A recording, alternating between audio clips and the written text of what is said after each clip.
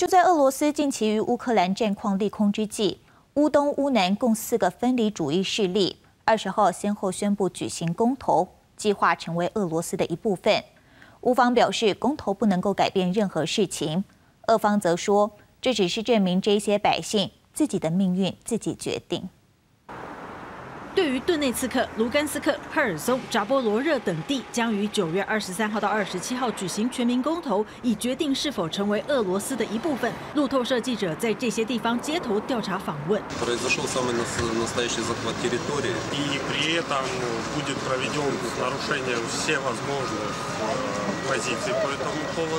俄罗斯在乌克兰东部顿内茨克扶植的分离主义势力，二十号宣布将就是否加入俄罗斯举行公投，并呼吁俄国总统普京公投后尽快将其领土纳入俄罗斯。另一个由分离势力控制的卢甘斯克以及俄罗斯占领的赫尔松、扎波罗热地区随后宣布跟进，这些地方占乌克兰领土约百分之十五。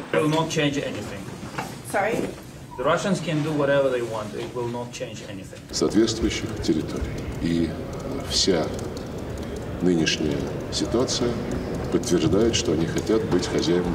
美国白宫对公投的决定表示反对认为莫斯科可能是因为在战场失利而借此在这些地区招兵买马。俄罗斯目前取得顿内刺客百分之六十领土在七月时几乎取得卢甘斯克全部但这个月在乌军反制后撤出临近的第二大城哈尔科夫失去这两个地方的前线主要补给线之控制权。而扎波罗热虽被俄军控制但未拿下首府。在赫尔松其首府是俄罗斯自入侵至今唯一完整占领的主要城市，而乌克兰已发起一次重大反攻。公视新闻黄月玲编译。